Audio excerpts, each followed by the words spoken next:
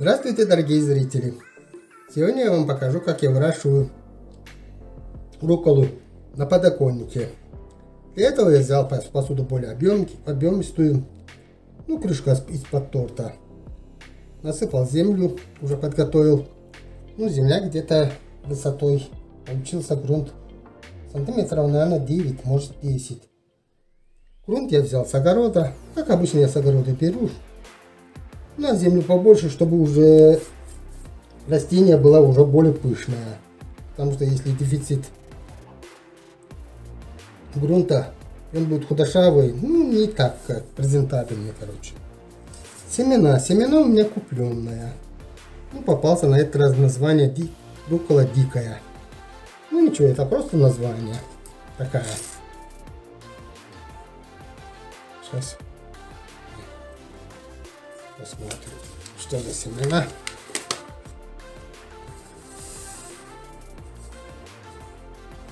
Поближе покажи, пожалуйста.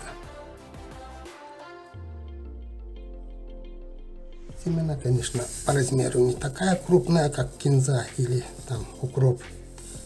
Поэтому надо будет помельче его садить. Ну, сделаю немножечко небольшие бороздочки. Не сильно глубоко чтобы им можно было еще и вывести расти. Ну, семена, конечно, мелкое, но количество хватает, поэтому я буду садить от души. Не жалеючи, ну, уже если то, что перерастет, много будет, можно разрывать.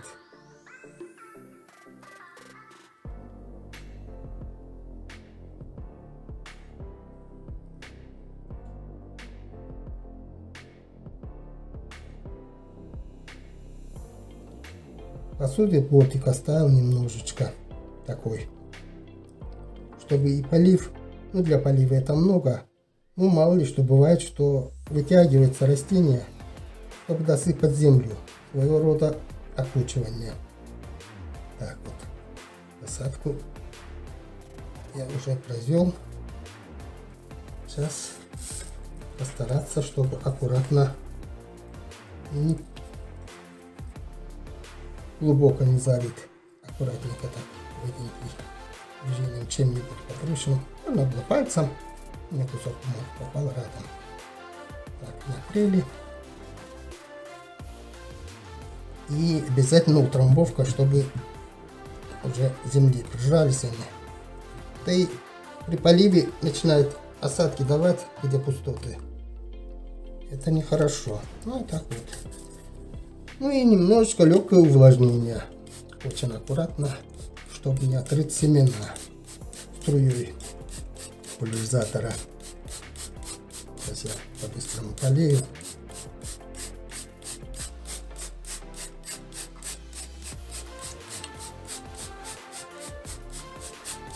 Так, тут кое-где даже раскрытые.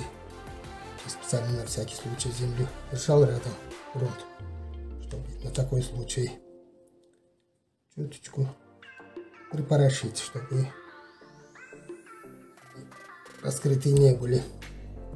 Так, вот, нормально. Легкое увлажнение. Ну вот, посадка у нас произведена. Сейчас мы его накроем целлофаном, чтобы держать водный баланс. Не, она влага не улетучивается, не дает целлофан улетучиваться. Получается небольшой парничок. Сейчас я ниткой, чтобы целлофан не упал.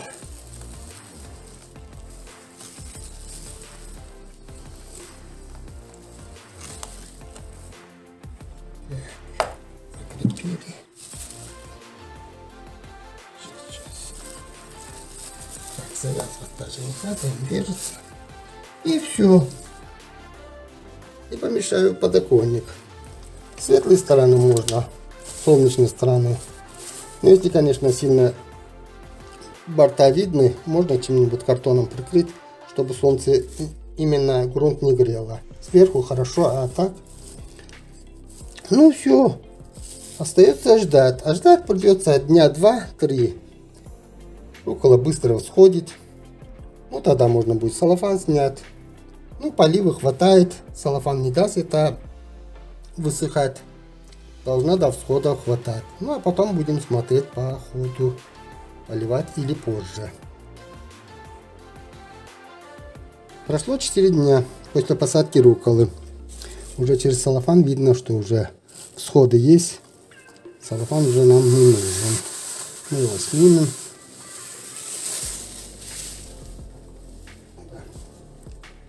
Ну, вот всходы отличные, дружные. Даже родки хорошенько видны. Ну, поливать сейчас необходимости нету.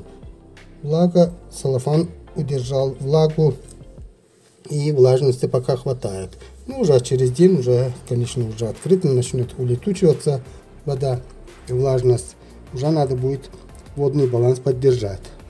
Ну, а так пока нормально. Единственное, что сейчас мы посуду перевернем на 180 градусов, что растение кланится к солнцу, ну, чтобы более равномерно выросло.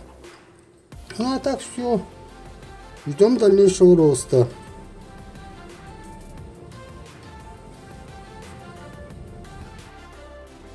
Прошло 10 дней. После того, как мы уже раскрыли руколу, ну, после всходов. Ну, уже вот такие. Они как-то, отличие от других салатовых растений, более медленно растут. Ну и ничего, ничто сделать. Ну и немножечко вытянулись. Так, сейчас мы их перевернем на 180 градусов. Видите, как клонились ну, в сторону солнца склоняются. Ну, чтобы равномерно росли. И немножечко окучим. Я как раз подготовил землю. Беру ложечкой аккуратненько между рядами, чтобы не придавить.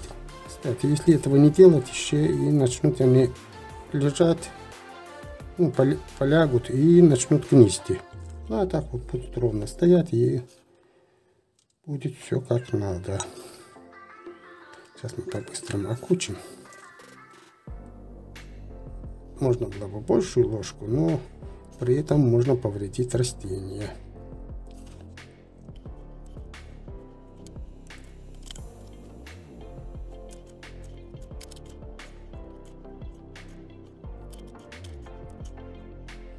Все, окучивание мы произвели.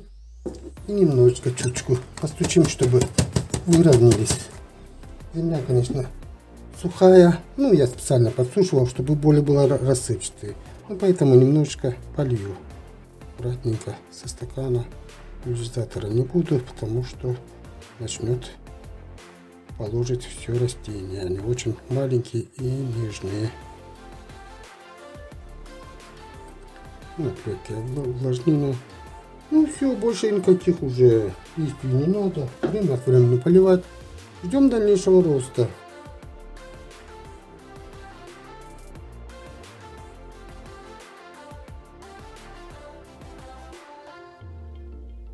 Прошло 10 дней после того, как я окучивал руколу. Ну, уже после этого или время подошло, или что так активно расти начали. Вот уже рядки сомкнулись почти. Не видно, что рядки есть или нету. Ну, почти еле видно. Ну, а так растут хорошо, нормально. Более так активно. Вроде пока никаких больше действий не надо. Время от времени увлажнять и ждать роста дальнейшего. Ну, где-то можно даже несколько штук это разреживать, вырвать. Ну и как салат использовать.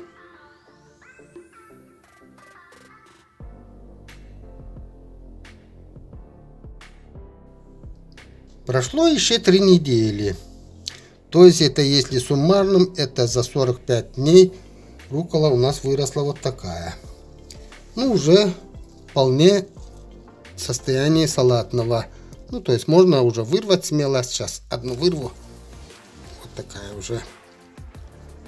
Можно уже смело употреблять пищу. Ну, производитель, конечно, ну, поставщик семян на пакетике писал, что 25-28 дней. Ну, то есть, если получится дольше, не надо расстраиваться. Это получается дольше. Почти два раза. Ну, а так все нормально. Вот это почти, ну, сколько, полтора, полтора месяца. И салат у нас рукола готовая. Ну, могла бы она, конечно, больше расти, ну так более пышно. Я принципиально не подкармливаю. Особенно салатные растения не подкармливаю. Ну потому что салат растет быстро все равно. Ну, остается все равно это то, что подкормил в составе, ну, да, в составе, короче, этого салата. Ну, поэтому лучше натурально, чем другой вариант, короче. Я так считаю. Ну, а так все. Спасибо за внимание.